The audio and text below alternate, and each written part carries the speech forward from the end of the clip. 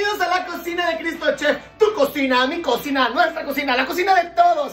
¿A poco no está increíble este nuevo outfit? Espérense que le ponga mi logo para que vean. Ahora sí, insoportable. Chef de hoy, Cristo Chef en redes sociales, outfit perfecto. Tengo a Pepe ahí, o sea, uh, mucho wiri wiri, así que ahora vamos a empezar. Hoy vamos a hacer un ceviche blanco, Cristo Chef. ¿Qué es un ceviche blanco?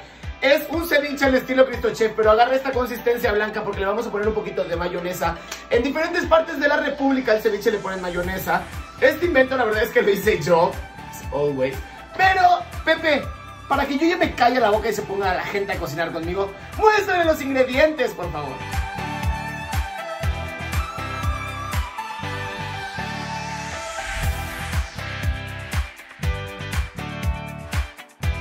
Realmente es una receta bastante fácil. Lo único que tenemos que hacer es empezar a picar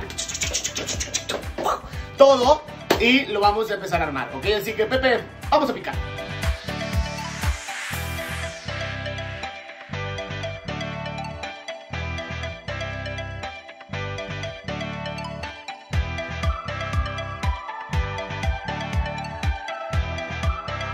Ya cortamos nuestro pescado en cubos y ahora a la gente y a mí no nos gusta que quede mariscoso. Entonces les voy a pasar un super tip para que no les quede mariscoso. Antes de ponerle las demás verduras, vamos a marinarlo con limón. ¿Qué va a hacer el limón? Cocerlo y hace que quede mejor la textura y que sepa menos marisco. Entonces vamos a exprimirle los limones de esta manera y vamos a dejarlo marinar aproximadamente de media hora a una hora. Si usted tiene prisa no pasa nada, este es un tip de Cristo.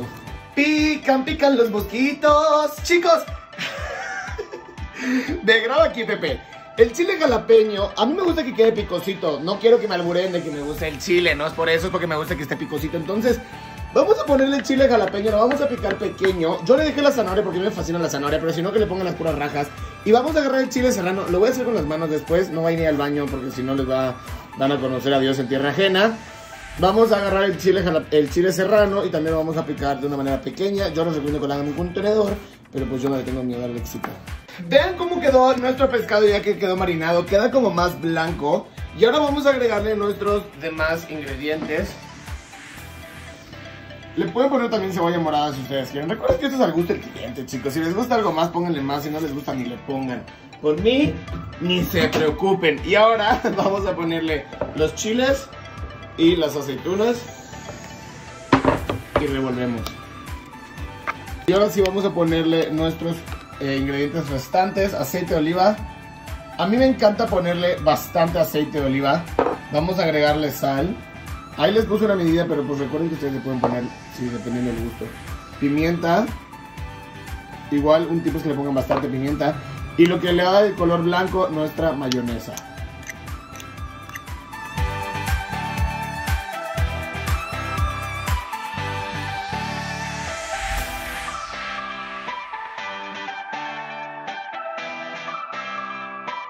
Perder.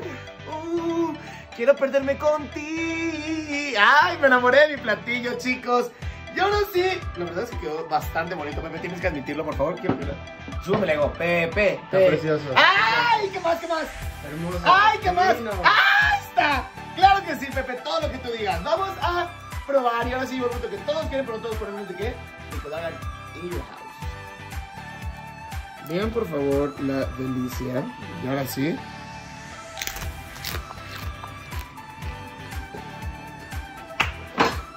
¡Qué chido!